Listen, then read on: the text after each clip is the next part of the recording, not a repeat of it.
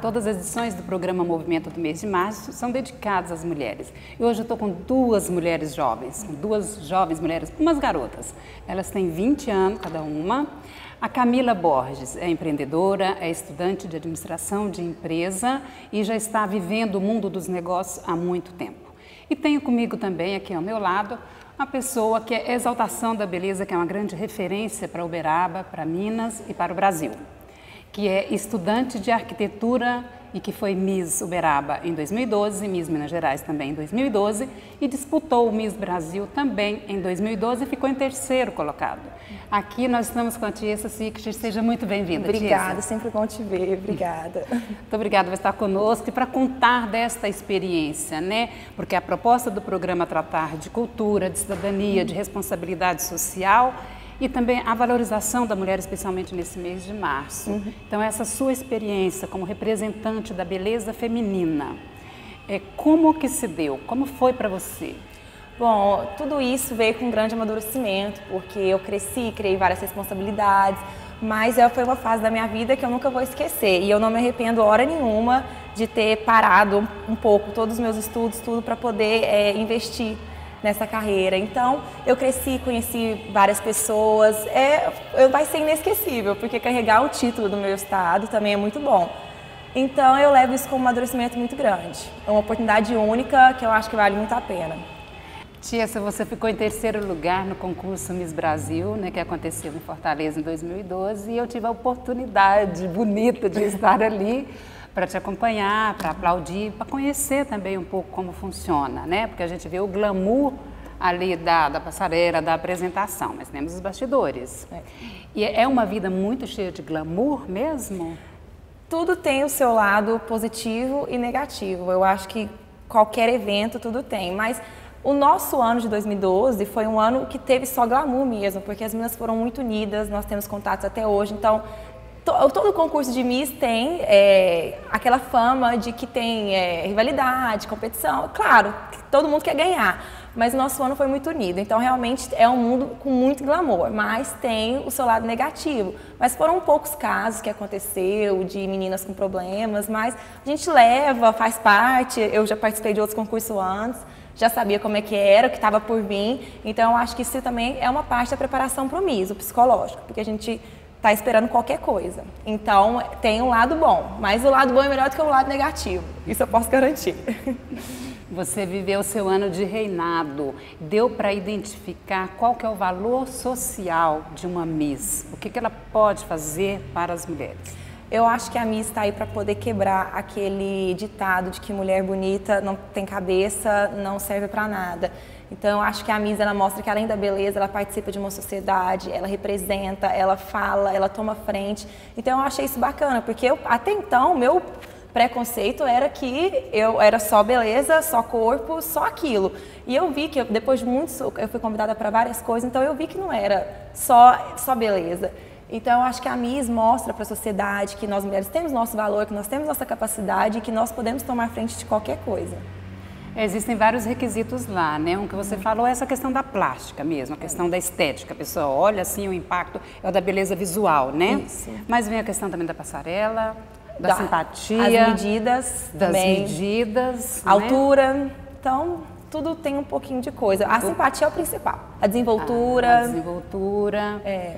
E aí vem também aquela parte das perguntas que é de medir a cultura e o intelectual. Isso. Que está apostando, pelo que eu senti, o júri está avaliando mais, com mais rigor, essa parte intelectual, conforme você está falando. Isso, né? é. Eles dizem que é a pergunta que escolhe quem é, que decide quem é a Miss. Porque até então você não demonstrou nada, só o físico. Então aí a pergunta, eles falam que é um checkmate. Se você ali não puder mostrar e passar a sua cultura, a sua sabedoria, você já está desclassificado. Então é uma parte muito importante e que eu acho que realmente é muito importante, porque não adianta você ter só um visual, um físico bonito. Você tem que mostrar o que você tem. E esse é um jeito de você também passar um pouco da sua simpatia para os jurados que estão te avaliando. É, isso faz sentido, porque todas ali são bonitas, né? É. Quando chega lá, já passou por um filtro, é, que todas são bonitas. Tem um desempate que a pergunta porque antes eles não jogavam assim, ah, leu, tinha, tem aquelas piadas, né? Uhum. Ah, porque ela leu o Pequeno Príncipe, né? É, Hoje não basta ler o Pequeno é, Príncipe. É verdade, isso. Não, não basta, porque todas são bonitas. Então tem que ter um diferencial. E eu acredito que o diferencial é na hora da pergunta. No mercado, de modo geral, na sociedade, de modo geral, quando eu falo mercado de trabalho, assim, a sociedade é a comunidade, né? No lidar, nas relações interpessoais, essa questão da mulher, ela está. Como é que você vê a situação da mulher atual? Eu acredito que ainda existe um preconceito, sim. Infelizmente, existe esse preconceito. Mas eu acredito que é muito pouco, porque a mulher, hoje nós temos uma presidente que é mulher, então já está mostrando tanto que quebrou um pouco esse preconceito. E é, as mulheres estão em grandes empresas, estão à frente. E eu acho que a mulher ela é bem mais capaz do que o homem, porque ela cuida de empresa, cuida de casa, de marido, de filho, coisa que às vezes se você for colocar, pedir para um homem fazer, ele não dá conta. Então eu acho que nós somos capazes de tudo, sem falar que nós somos mais centradas, mais tranquilas, bem mais responsáveis. Então eu acho que tem que parar com isso, já está diminuindo, o nosso presidente está aí para mostrar isso, que não existe, que nós somos capazes, nós temos o mesmo poder que eles. A gente faz um malabarismo, né, para conseguir tudo isso aí. É. Você, e consegue. Consegue, com Agora, certeza. como? Como, assim, eu vejo e falo, como é que você consegue? Às vezes eu faço essa resposta, eu tento dar essa resposta para mim, né? Como que você consegue? Porque você tem muitos chamados também. Uhum. Você tem muitos contatos, você tem vida social, vida familiar. Como que você administra o seu tempo nesse sentido? Bom, eu espelho pela minha mãe, mas eu faço questão de tudo que eu vou fazer, tentar deixar sempre final de semana ali para minha, pra, minha família, tentar deixar tudo que eu tenho que fazer para durante a semana. Então, o bom é que eu estou sempre com a minha família nos domingos, a gente sempre está junto, então eu não consigo afastar. Na época do concurso, eu afastei um pouco, sim, porque estava muito corrido do meu namorado, mas era sempre assim, sobrava um pouquinho, eu ligava, ai, vamos encontrar, vamos se ver, para poder não deixar distante. Então, eu acho que a mulher consegue conciliar tudo isso, o homem às vezes não, mas não pode esquecer, porque é fundamental, porque eu não posso jamais esquecer quem foi que me deu aquela base, que me incentivou e me ajudou em tudo. Então, eu não posso eh, evoluir e esquecer de quem estava lá comigo desde o começo. Então, assim, eu sempre deixo um restinho do dia, um horário. Eu sou muito organizada com meus horários. Eu gosto de ter horário para começar, para sair, não gosto de atrasar. Então, eu acho que isso me ajuda um pouco a conciliar tudo. Tia, se você é vista naturalmente né, como uma mulher bonita. E ser bonita ajuda, atrapalha, tem seus benefícios, tem seus malefícios? Ah, às vezes eu, eu, acho que ajuda, porque a mulher ainda bonita, a gente tem aquele jeitinho, chama atenção, então eu acho que mais ajuda do que atrapalha. Igual eu te falei, tem um preconceito, mas eu acho que ajuda. E uhum. é bom que a gente chama atenção, e aí, não sei, eu sinto, eu tenho comigo que me ajuda acho bom. Você nunca se sentiu assim, afastada por isso, por essa questão da, ai, a missa está chegando, ou um distanciamento de algumas pessoas não, em função não, disso? Não, graças a Deus não. E logo depois do MIS, eu acho que eu não, eu não me afastei de jeito nenhum, porque como todo mundo queria saber do MIS, conversar, já me conhecia, então eu acho que me aproximei mais ainda das pessoas. E tem uma frase do do poeta, né, do uhum. Vinícius de Moraes, que fala mais ou menos assim, que me perdoe as feias, mas beleza é fundamental. Uhum. Você partilha dessa opinião? Não, porque eu acho que a beleza, ela cansa. Não que cansa, ela se torna normal, comum. Agora a beleza interior não. Porque você já viu aquelas pessoas, tem vezes que é uma pessoa feia, vamos dizer. E ela é uma pessoa tão simpática, que passa uma coisa tão boa, que ela se torna bonita. E já a beleza, você vai olhando tanto que uma hora é comum, você já não olha com aqueles olhos da primeira vez. Então, eu acho que a beleza é só a primeira chamada ali. Depois, eu acho que é a, pessoa por dentro, o interior. Então, eu acho que é, a beleza interior é fundamental. E o que que, para você, na sua opinião, faz uma mulher ser feminina? Porque muitas vezes a mulher está tá trabalhando, ocupa uhum. cargos, né, altos cargos até de direção. O que, que conduz a mulher para ela não perder a feminilidade?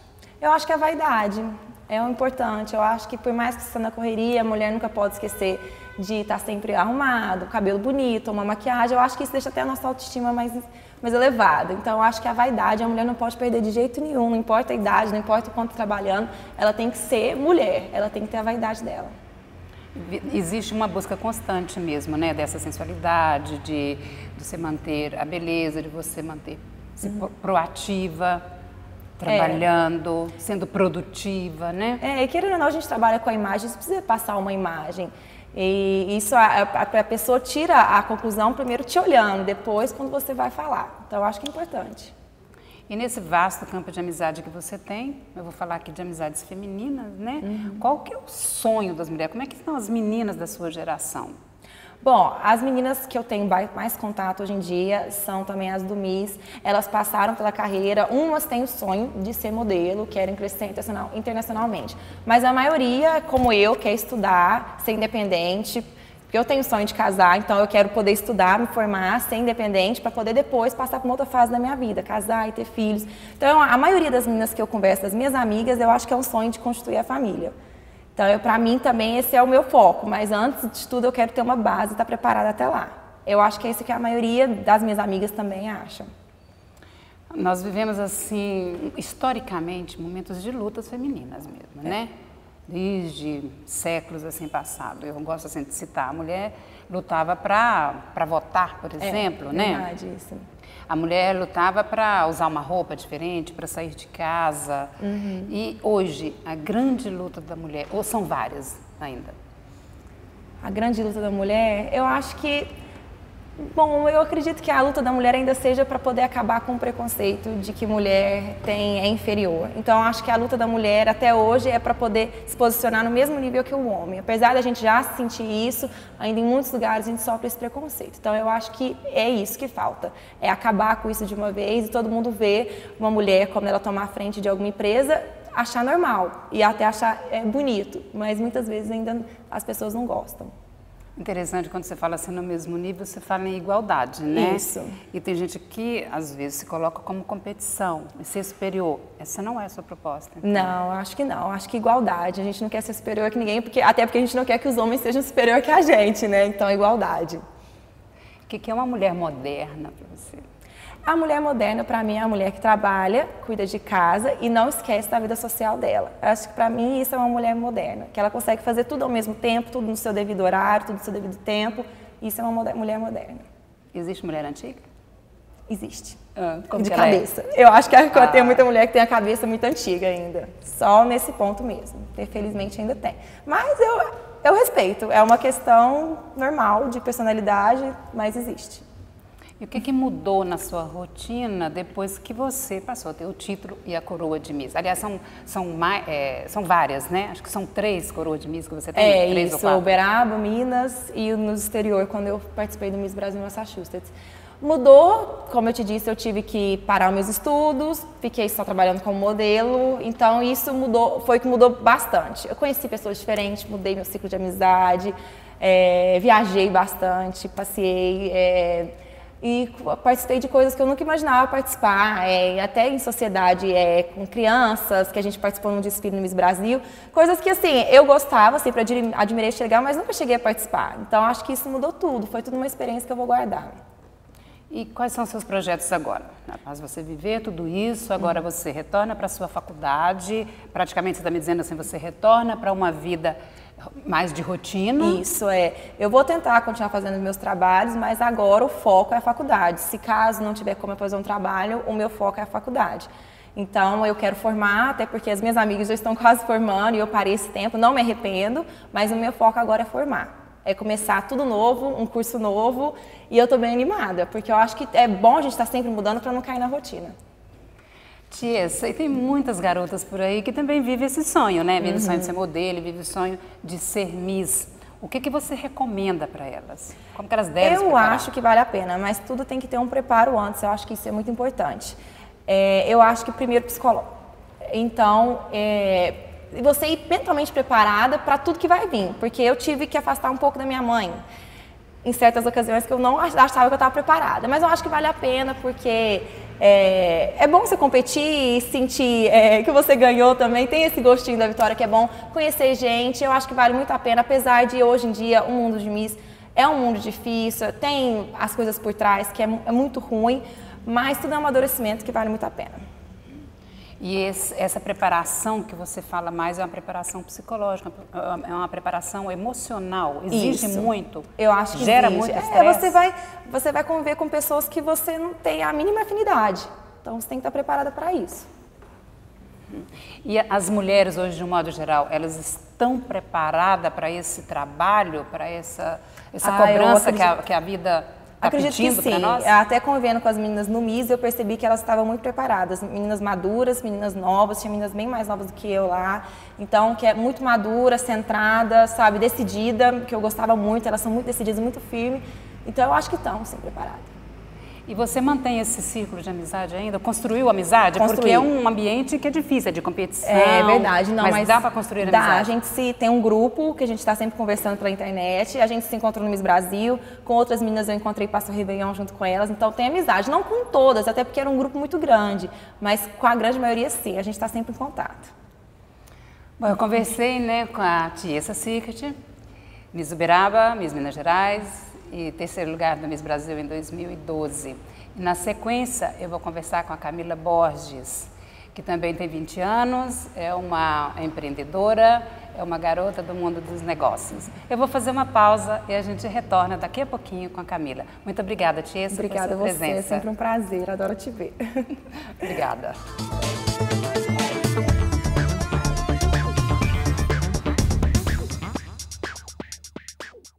Retornamos no intervalo e eu estou aqui com a Camila Borges. Seja muito bem-vinda, Camila. Obrigada, é uma honra estar aqui com você. Você é considerada uma jovem empreendedora. Você tem 20 anos, mas você trabalha desde os 17, é isso? Eu trabalho a vida toda, na verdade, né? Como assim? Você já nasceu trabalhando? Como que é isso? Eu, minha mãe tem a empresa Boticário, né? A franquia de Boticário é da minha mãe. E desde petitinha eu estou inserida nesse mundo. Eu brincava que eu era piolha das lojas dela, porque eu estava sempre lá. Quando eu era pequena, eu chorava para poder participar de reunião, tá sempre junto com ela. Então, desde pequena já me aflorou essa vontade de trabalhar nesse meio e eu nunca tive dúvida do que eu queria. Então, desde novinha, eu já comecei a procurar estar no me nesse meio e poder estar conhecendo cada vez mais como que é um pouco desse mundo que as mulheres fazem pouco tempo que estão nele, né? Não era tão comum mulheres comandando uma empresa. Então eu achava o máximo.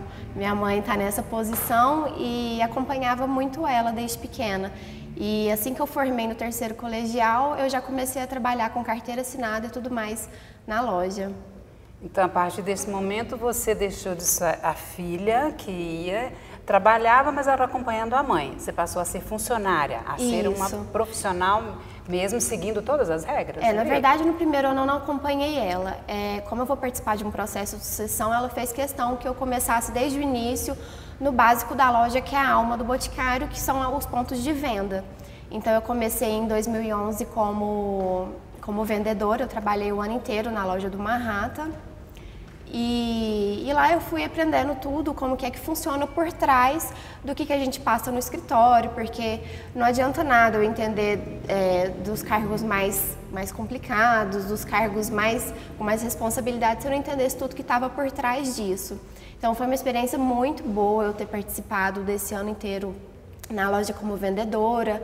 Eu trabalhava normalmente com horário, com uniforme, seguia os mesmos, os mesmos critérios, tudo normalmente como uma vendedora. E foi uma experiência muito rica que eu não trocaria ela por nada.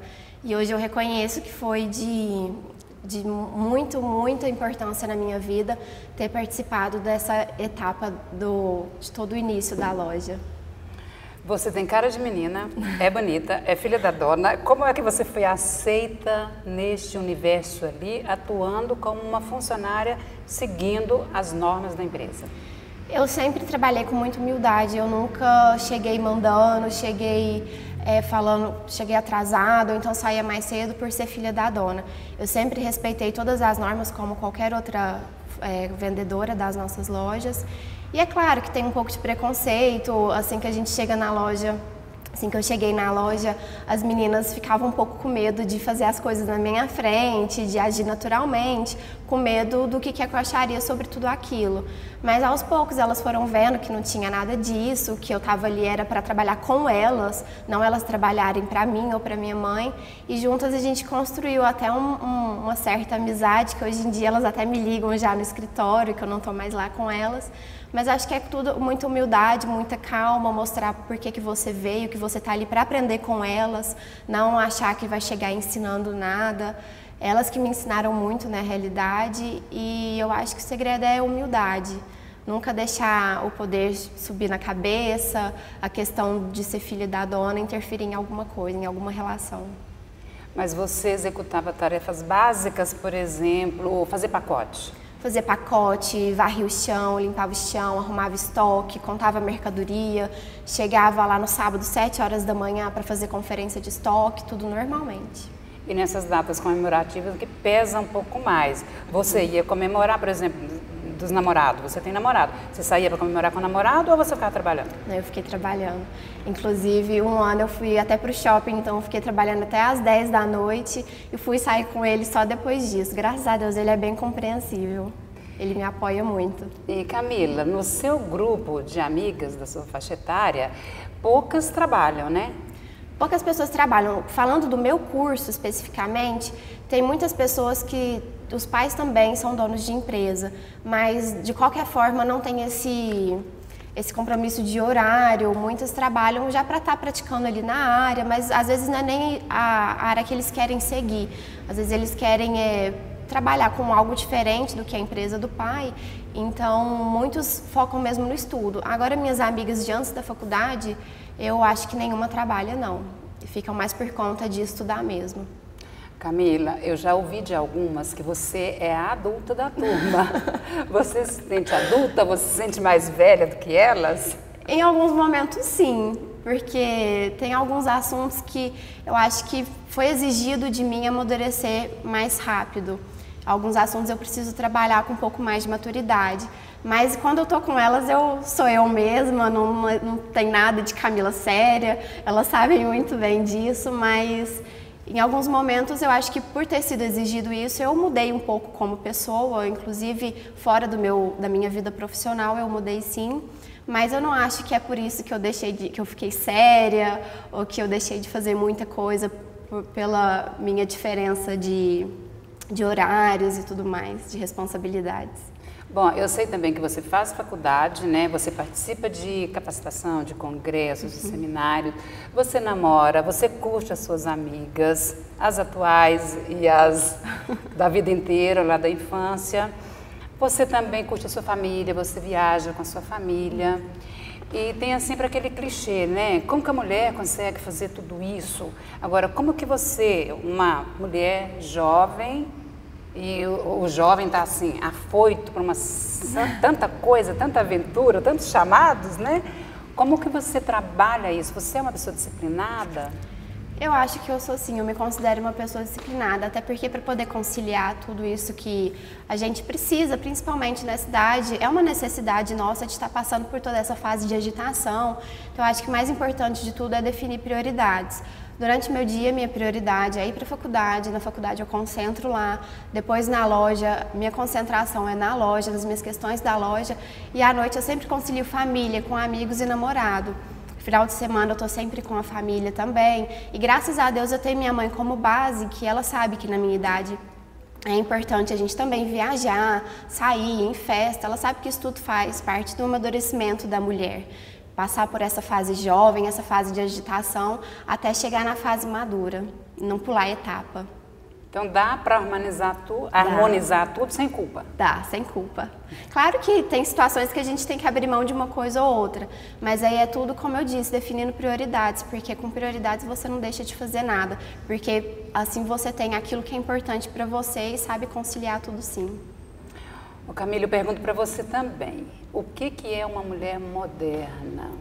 Uma, mulher moderna, eu acho que é aquela mulher dinâmica, que consegue fazer de tudo um pouco, é aquela mulher que tem responsabilidade, tem um jogo de cintura diferenciado dos homens. Então, eu acho que uma mulher moderna é aquela que consegue executar tudo aquilo que ela sente necessidade, tudo aquilo que ela gosta, de forma que nada prejudique nada. Uma mulher moderna é essa que tem um jogo de cintura diferenciado. Você está no mundo dos negócios, né? Há muito tempo, pelo menos ali nos bastidores, uhum. acompanhando e agora efetivamente no mundo dos negócios mesmo. E como eu estava falando, você participa dessas convenções. Existem uhum. muitas jovens assim, com esse compromisso de trabalho? Tem muitos jovens nesse cenário? No cenário que eu tenho de convenções, de reuniões, eu sempre sou caçulinha. então, falando de pessoas que que estão fora desse, desse meio do boticário, eu acho que tem sim, que hoje em dia Os jovens, por mais que aproveitem muito, eles têm consciência de que a futura geração depende da gente. Então, muitas amigas minhas, inclusive, procuram muito participar de cursos, de cenários, tudo que envolve a área delas, eu acho que elas procuram sim. Tem bastante interesse e responsabilidade em relação ao que está nas nossas mãos daqui a uns tempos. E você já sentiu algum tipo de discriminação por você ser jovem e estar atuando assim tão fortemente? Eu não diria discriminação, mas um preconceito. Porque na minha realidade, na loja, eu lido com muitas pessoas por telefone e e-mail e depois eu venho encontrar elas pessoalmente. Então, tanto nessas reuniões, nesses encontros, como em seminários e convenções, tem aquela, aquele certo é, como que eu posso dizer, uma, um preconceito mesmo. Eu acho que tem muitas pessoas que hoje em dia elas olham muito pelo que você é, não esperam deixar você mostrar o que você realmente é por dentro. Elas te avaliam muito primeiro como uma primeira impressão. Então eu já senti sim é, olhares diferentes quando me veem em situações que tem pessoas bem mais velhas que eu, achando que às vezes eu estou ali levando na brincadeira, ou então foi minha mãe que me obrigou a estar tá ali, mas que na verdade é tudo iniciativa minha porque eu realmente gosto do que eu faço. E ao gostar do que faz, você consegue definir algumas características do perfil de uma jovem mulher empreendedora? Acho que tem que ser bastante disciplinada, porque nada é bem feito se não tem disciplina. Tem que ter muito foco naquilo que quer, porque muitas situações você você está passando outras coisas na sua cabeça. Às vezes aconteceu alguma nota, tirar uma nota ruim na faculdade, não deixar isso atrapalhar durante sua, seu, seu tempo profissional, enquanto eu estou na loja. Então eu acho que a gente tem muito que prestar atenção nessas coisas e ter foco em tudo que é aquilo que a gente faz. Olha, na minha geração, a gente fala assim, olha, a gente tem várias lutas, vários desafios, aquela efervescência toda, né? Agora, na atualidade também tem, só que são outros, são outras nuances, outros patamares. Uhum. Até porque nós estamos na época de tecnologia, da, da, da, informática. da informática, né? E quais são hoje? O que, que a mulher persegue mais? O que, que ela quer mais vencer, que você acha? Eu acho que é se posicionar. Eu acho que a mulher precisa se posicionar no mercado, mostrar que aquele preconceito de que mulher precisa ficar em casa é coisa do passado, que hoje em dia as coisas não funcionam mais assim, porque a gente hoje em dia tem tudo muito fácil na nossa mão, essa questão da informática que você citou. Então eu acho que a gente precisa mesmo é, ter o diferencial da mulher que é mostrar e se posicionar no mercado. E ainda tão jovem, Camila, você agora também já está querendo fazer carreira solo, né? Você está abrindo o seu próprio negócio em Uberaba, não é um negócio da sua mãe, mas é o seu negócio, que é voltado para as mulheres. O que, que é? Isso. É uma marca de cosmético, de maquiagem, na verdade, chama Quem Disse Berenice. Esse, essa frase é o nome da loja? É o nome da loja. Eles fizeram proposital. O conceito dela, todo o layout foi feito dessa forma para impactar mesmo todo o público feminino, porque é uma loja focada em maquiagem. O objetivo deles, é, com o nascimento dessa marca, é se posicionar como a marca referência em maquiagem do Brasil. É um nome assim meio provocativo, não é? É, super Mas provocativo. É voltado para um público jovem? Não, na verdade eu não diria um público jovem, mas assim um público que tem a mente jovem. Porque hoje em dia eu tenho um exemplo dentro de casa. Minha avó, ela é toda peruana, mas uma perua chique. Ela mesma apaixonou na loja. Então o layout é assim, o conceito é assim, todo jovem. Mas não, não significa que é para público jovem, adolescente. Ele é assim voltado para quem tem a mente jovem. Então quem se encaixa nesse perfil com certeza vai amar a loja. Ô Camila, isso aí é um desafio, não deixa de ser, né? Não. Mas você está tranquila? Como é que você está lidando com essa possibilidade de um grande investimento? É um investimento financeiro, uhum. mas é um investimento emocional, é investir uma esperança, um sonho, não é? Como é que você está lidando com isso? Eu tenho preparo psicológico desde criança, desde antes de eu começar a trabalhar na loja, então isso me ajuda muito. Minha mãe sempre frisou muito pra gente que é importante, por trás de tudo, a gente ter um preparo psicológico, ter uma cabeça boa para enfrentar tudo aquilo que a gente está almejando ter. Então, por trás disso tudo, tem o apoio da família, que está todo mundo super na expectativa. Tem, claro, o apoio da minha mãe, que sempre foi minha base, e ela está dando muito apoio nisso. Ela está me ajudando demais, tanto psicologicamente quanto correr atrás das coisas. Sempre que eu penso, dá aquele friozinho na barriga, assim, mas é um frio gostoso que eu estou super ansiosa para chegar aqui em Uberaba. Bom, então, Camila, cita para nós, se for possível, pelo menos assim, três mulheres que você tem como referência na sua vida. Olha, em primeiro lugar, sempre é minha mãe. Independente da pessoa que ela é, como uma pessoa maravilhosa, eu tenho ela como minha ídolo feminina é, sempre. Não só como pessoa, mas pelo, pelo profissional, por toda a história de vida que ela tem. Eu considero ela, assim, minha base de tudo. Então é nela que eu me espelho. Eu, eu brinco com ela que eu quero ser pelo menos um dia metade do que ela é hoje. E eu sei que ela é uma pessoa reconhecida na cidade, é reconhecida na família, ela é muito querida por todos e, e é um espelho que eu tenho na minha vida que tenho certeza que vai me impulsionar muito. Bom, pelo que eu vi, né, eu citei, pelo menos, pedi para você é. citar pelo menos três, mas você colocou a sua mãe, a Tisa, como essas como três pessoas ou outras pessoas. É. Então, é a grande referência para você. É. é, como você falou, o seu espelho, né? O início de tudo também partiu da minha avó, né? Que minha avó foi uma empreendedora. Então, essa geração de empreendedorismo na minha família partiu da minha avó, que até hoje ela dá umas dicas pra gente. Ela, ela apesar da idade, tem uma cabeça super jovem. Então, eu acho que o começo de tudo foi com ela, mas a minha base mesmo é minha mãe. Nós estamos terminando o programa, Camila, mas antes disso eu quero que você, por exemplo, passe para algumas pessoas, para as jovens que desejam fazer algum negócio, que deseja, deseja ter ou formal ou informalmente, né? O que, que você diria para essas jovens? Olha, eu quero dizer para, se você tem vontade, se você se identificou, nunca desistir Sempre vão ter pessoas que às vezes vão te criticar, pessoas que não vão colocar muita fé naquilo que você quer. Se seu sonho é muito além daquilo da sua realidade de hoje, não desista, porque tudo que você quer você consegue. É uma coisa que minha mãe sempre fala para mim. Tudo aquilo que a gente quer, com muita força de vontade, a gente consegue.